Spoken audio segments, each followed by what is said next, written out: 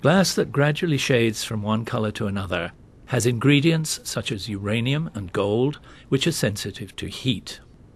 When part of the object is reheated, it strikes or changes color.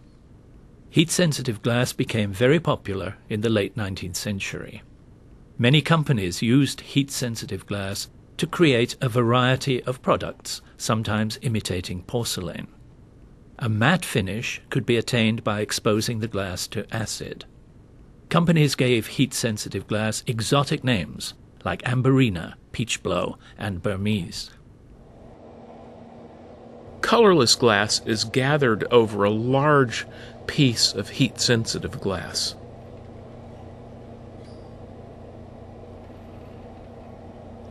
The two are inflated together.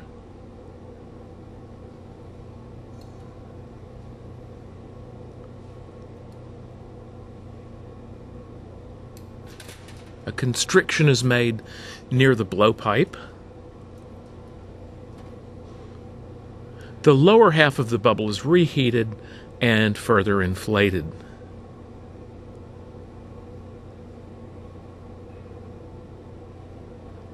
The bottom is flattened.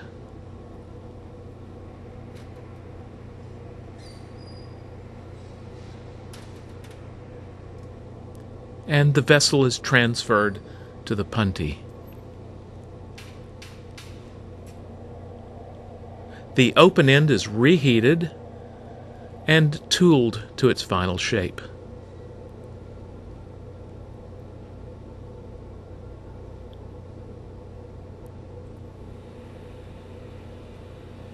The vessel is allowed to cool nearly to the point of cracking, and then it's reheated in the furnace.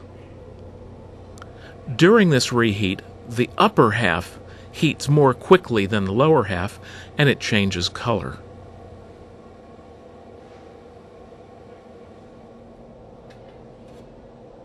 A mass of heat sensitive glass is manipulated to form the pig.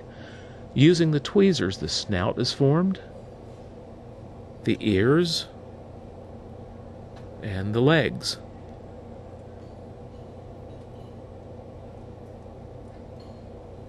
The eyes are formed at the same instant with the two tips of the pincers. A constriction is made near the tip of the gathering iron, and this is where the pig will be separated from it.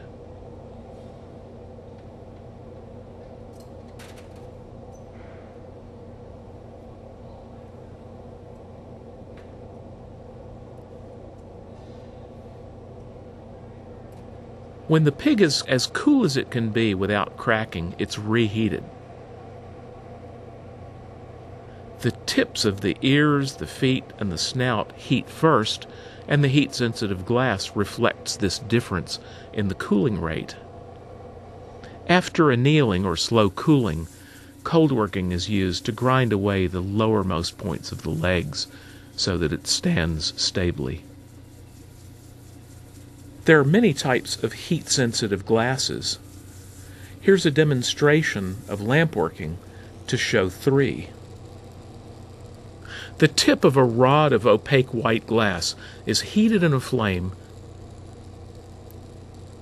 The crystals which cause the opaque effect begin to dissolve in the glass when it gets above around 14 or 1500 degrees Fahrenheit. As the glass cools, the opacity returns as the crystals again grow in the glass. Here, the rod is slightly colorless, and during reheating, the striking process occurs. The part which has been reheated is a ruby red. The rod remains colorless.